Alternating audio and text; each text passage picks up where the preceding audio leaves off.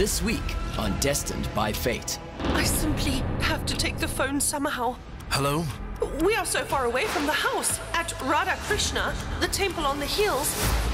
Did you hear everything? Yes, Kanha. I'll go there. You come too. I should go and follow them. I need to get to the temple really quickly. I have no idea where Vikrant has taken Sayuri. It is time for you to leave. Someone else will replace you. And now I have a request for you. Please do not come between us two brothers at all today.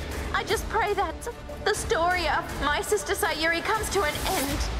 I told you to listen, but you didn't want to. You'll always be mine. no! If you cannot be mine. From today, I never want to explain myself to you again. But I think this dead body was of your wife Sayuri Chaudhary. Destined by Fate, Monday to Sunday, 9:30 p.m. and repeats at 2:30 p.m. on Star Life.